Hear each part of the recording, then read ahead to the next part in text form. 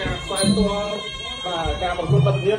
ក៏ដូចជាបងប្អូនជួយជួយបន្ត share បាទចែករំលែកវីដេអូនៃការផ្សាយផ្ទាល់ការបងប្អូនអ្នកស្នេហាគុណខ្មែរដទៃទៀតឲ្យលោកចូលរួមទស្សនាឲ្យច្រើនចូលកផងបាទនេះការជួយគ្នាលើកទី1សម្រាប់អ្នកទាំងពីរបាទសម្រាប់គុណជាងឡៃបាទជាកីឡាករដែលមានដើមកំណើតមកពីខេត្តកំពង់ឆ្នាំងបាទបច្ចុប្បន្នវ័យ28ឆ្នាំហើយបាទគេគុណគ្រូតាមរបៀប entry សំដីរិទ្ធបាទគ្រូបងប្អូនគឺលោកធុនសុភារីឯបង្គោល Q បងប្អូនអ្នកស្នេហាគុណខ្មែរអាចថាជ្រាបច្បាស់ច្រើនព្រោះតែគាត់មុនវគ្គចុងក្រោយនេះមានទីផ្សារនៅកម្ពុជាច្រើនបាទគឺទូនពេលសុបលេខបកលាករកម្ពុជាស្វិតធ្វើក្បត់តែអាយុរៀងទេប៉ុន្តែក្បាច់ក្បួនយុទ្ធសាស្ត្រយុទ្ធសាស្ត្រនៃការប្រកួតគាត់នៅតែល្អនៅតែខ្លាំងនៅតែខ្លាំងដូចគ្នានៅតែបាទធ្វើបានល្អហើយក៏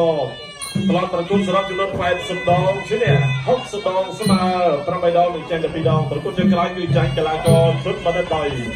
បាទសូមចុះចាញ់នៅក្នុងទឹកទី2បាទជាកីឡាករដែលមកពីស្រុកប៊ូរីរ៉ាំប្រទេសថៃ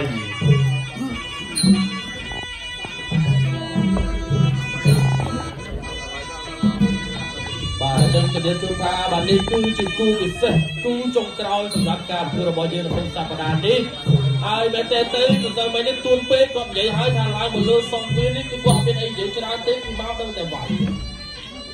គាត់ទៅតាមផ្ញើទៅគុណអៀងឡៃបែបនេះហើយគុណអៀងឡៃក៏ប្រាប់ទៅ